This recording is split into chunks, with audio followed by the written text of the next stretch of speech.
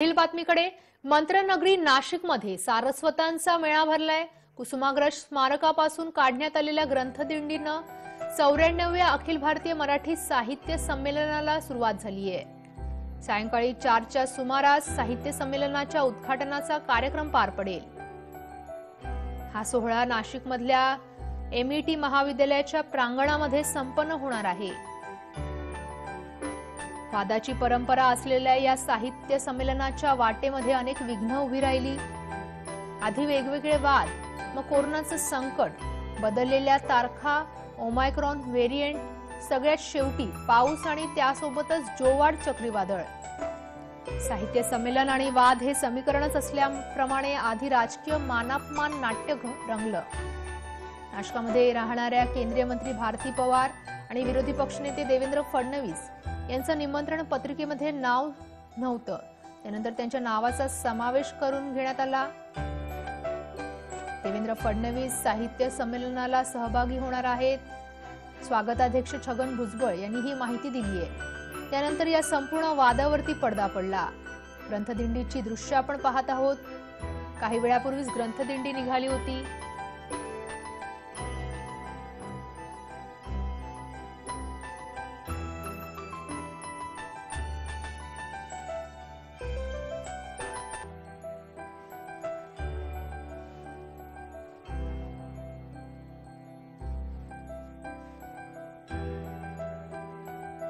ग्रंथदिंडीनं साहित्य संमेलनाला सुरुवात झाली आहे ती दृश्य आपण पाहत आहोत.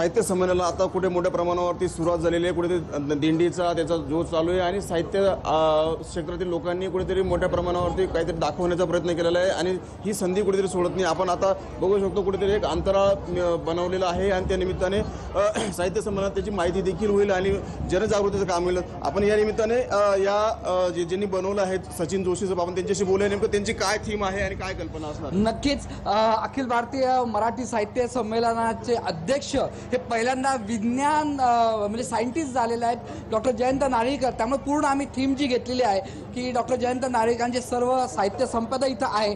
आणि एक मोठी दुर्बीण आम्ही इथून काढलेली आहे. आणि तुम्ही जर बघितला तर पूर्ण ग्रहमाला आहे. आणि त्या ग्रहमालातून दुर्बिणीतून तर आम्ही हा विचार देतोय की इतके वर्ष आपण अ अननसाचा शिकला आता वेळ आलेली आहे अ अवकाशाचा हा शिकण्याची एकंदरीत साहित्य संमेलनामध्ये विज्ञानाच्या जोडीबरोबर कुठेतरी साहित्य संमेलनामध्ये गजबजून गेलेले आहे. एका बाजूला कडा कडाक्याचं गारवा आणि या साहित्य संमेलनात पावसाचा जो तडाखा बसला त्याच्यावर देखील परिणाम झालेला होता आणि साहित्य संमेलनाच्या निमित्ताने कुठेतरी साहित्यांचा मेळा कुठेतरी नाशिक नगरीत भरलेला आहे. जय महाराजसाठी मनोहर शेवाळे मालेगाव.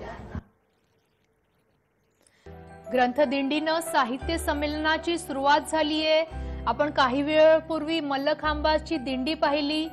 साहित्य संमेलनामध्ये ग्रंथदिंडीनं सुरुवात झाली तर ग्रंथदिंडीमध्ये वेगवेगळ्या प्रकारच्या दिंडी पाहायला मिळाल्या.